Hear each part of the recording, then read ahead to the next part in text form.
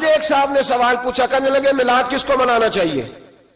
میں نے کہا، اس بیٹی کو منانا چاہیے میلاد۔ جو زندہ ہوتی تھی تو دفن کر دیا جاتا تھا، پر میرے رسول نے فرمایا، اب جو بیٹی پالے گا نا، میں اس کا بازو پکڑ کے جنت میں ساتھ لے کے جاؤں گا۔ میں نے کہا، میلاد، اس ماں کو منانا چاہیے، جس کا بیٹا گلے میں رسی ڈال کے ماں کو منڈی میں بیچ آتا تھا۔ میرے مصطفیٰ کریم نے فرمایا جنت سات آسمان کے اوپر سدرت المنتہا کے پاس تھی، پر میں نے وہاں سے کھینچ کے لا کے ماں کے قدموں کے نیچے رکھ دی ہے۔ میلاد اس باپ کو منانا چاہیے جس کی اولاد ڈنڈوں سے مارتی تھی۔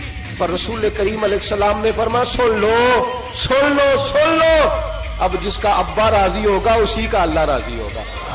میں نے کہا، میلاد اس غریب کو منانا چاہیے جو بھینس کی طرح، بکری کی طرح منڈی میں بکتا تھا۔ پر مصطفیٰ نے کالے رنگ والے حبشی غلام کو سینے سے لگا کے کہا، غریبوں کو چھوٹا نہ سمجھنا۔ میں اللہ کا رسول جب جنت میں جاؤں گا تو آگے بھی غریب ہوں گے، پیچھے بھی غریب ہوں گے، دائیں بھی غریب ہوں گے، بائیں بھی غریب ہوں گے۔ فرمایا، امیر ویٹنگ لسٹ میں ہوں گے۔ پانچ سو سال بعد جنت میں جائیں گے۔ غریبوں کے لیے جنت کے دروازے پانچ سو سال پہلے ہی کھلوا دوں گا۔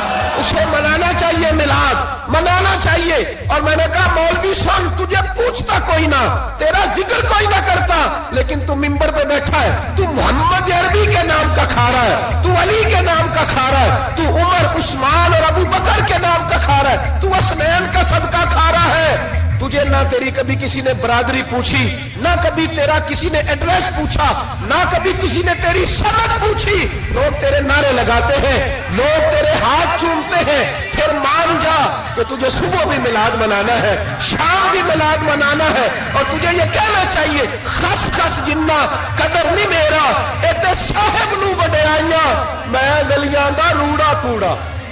ایتے محل چڑھایا سائیاں، تیرا کام تھا تیری آنکھیں بھیگی رہتی، اور اس بوڑھے کو بھی ملاد منانا چاہیے، جس کے بارے میں میرے نبی پاک نے فرمایا، سفید داڑھی والے کی جس نے عزت کی، اس نے تو رب کی عزت کی۔ اس نے تو رب کی عزت کی میرے بھائی، اس مزدور کو بھی ملاد منانا چاہیے۔ جس کے بارے میں نبی پاک نے فرمایا، جو اپنے ہاتھوں پہ چھالے ڈال کے مزدوری کرتا ہے، میں نے تو اسے رب کریم کا دوست بنا دیا ہے۔ اور اس طبقے کو ملاد منانا چاہیے جسے میرے رسول نے عزت عطا فرمائی۔ اس بہن کو بھی ملاد منانا چاہیے۔ جس کے بارے میں نبی پاک نے فرمایا، اگر کسی کا باپ چلا جائے اور اس کے حصے میں بہنیں آ جائیں، چار بہن۔ تین بہنیں یا دو بہنیں بیاہ کے جو آیا تپے سے۔ میرے محبوب نے فرمایا، میری انگلیاں جڑی ہوئی ہیں نا، اس طرح میں اسے اپنے ساتھ جوڑ کے جنت میں لے کے جاؤں گا۔ اس بہن کو ملاد نہیں منانا چاہیے۔ میرے رسول پاک نے فرمایا، جس کی بیٹی واپس آ جائے، طلاق ہو گئی یا بیوہ ہو گئی، واپس آ گئی۔ نام بس سکی، واپس آ گئی۔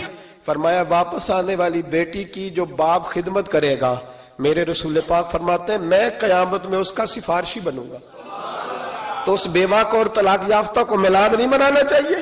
وہ اس رسول کا ذکر نہیں کرے گی۔ اس نے اتنا درجہ دے دیا، اتنا نواز دیا، اور تجھے تو صبح شام ملاد ملاد کرنا چاہیے تھا۔ تجھے تو صبح شام درود درود کرنا چاہیے تھا۔ سلام کے گجرے